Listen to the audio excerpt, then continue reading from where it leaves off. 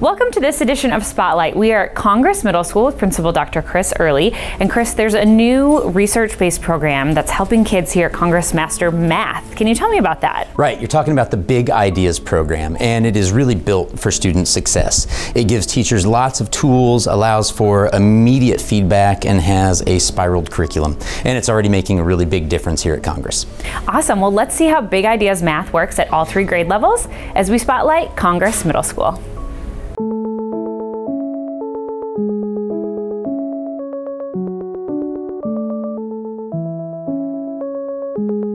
I feel like Big Ideas really kind of ramps up the curriculum, gives the kids a very nice wriggle level uh, for the curriculum with a lot of challenge, but more importantly, it gives them a conceptual knowledge of algebra, geometry, and mathematics. It's a cross between an online resource and we also have hard copy workbooks. Um, also what I really like with it is it includes a lot of manipulatives and hands-on activities. I think it's really helpful to have a hands-on because then you hear it and she's teaching it and then you also get to learn it by yourself. I like that it challenges me. You remember it better if you do it hands-on instead of just in a book. Another great um, aspect of the technological um, use of it is when you use it with the smart board, there's a lot of touch and drag and aspects that it, it it goes right to the smartboard where students can come up and get that tactile feel and touch by using the smartboard and manipulating it. And really a lot of mathematics that's done in careers, if, if we're looking at career and college ready, um, are done with technological uses like that. So it's nice that the students are getting already getting a, a view of that and already getting practice of that, um, which is how they will do math in a, in a real life job. This program is really helpful because we don't, instead of just doing it on paper, with paper it can get kind of crowded. So we have scratch paper and then we can also put it in on the computer so she always gets her answer and it's never confused with anything else. If they got it wrong, it does give them help in different forms. It can show them help just visually, it can give them an extra video, it can talk about a real life situation. Um, so I love that it doesn't just say right or wrong, that feedback is really important, but it also will give them instruction.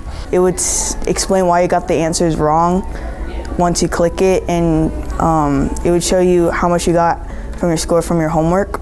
If it says that it's wrong, then we can say, oh, I'm, I got to rework it, and then you can find your mistakes, and that's helpful. Sometimes in past mathematical curriculums, we would touch on a, a concept like two-step equations, and then we'd move on to the next chapter, and we would never go back to it. Big Ideas does not do that. It spirals and also always goes back to retrieve the information we have learned in the past.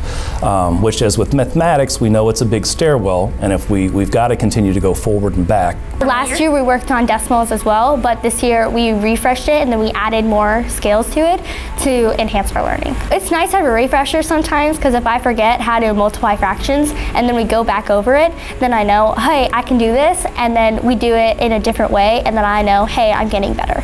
Big ideas have really boosted up my grade from when I first started. I feel like I'm doing a lot better and I'm learning a lot more. I, I love the the creativity of big ideas, the videos and the examples that, it, they use are appropriate for this grade level.